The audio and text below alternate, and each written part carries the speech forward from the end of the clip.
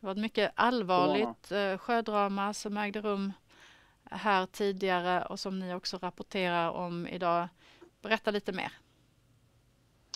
Eh, larmet kommer alltså in till sjöräddningen igår fredag eh, och då ska en livlös man ha setts i vattnet.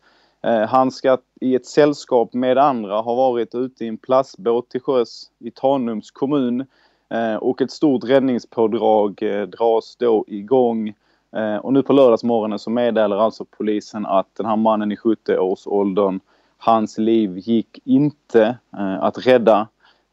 Ytterligare två personer var med på den här kapsejsade båten.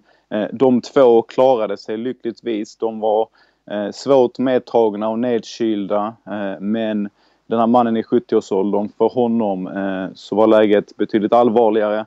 Hans liv gick alltså inte att rädda.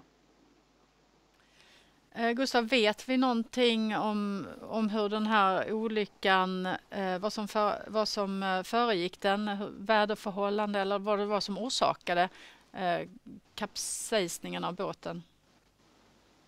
I det här skedet så vet vi inte det. Eh, uppgifterna under gårdagen var knapphändiga. Eh, så den senaste informationen är alltså, är alltså att den här mannen Eh, Eh, hans liv gick inte att rädda. Eh, det här kommer såklart att tittas närmare på och vi hoppas att vi får eh, mer detaljerad information eh, under dagen. Så tyvärr så har jag inte svar på det just nu.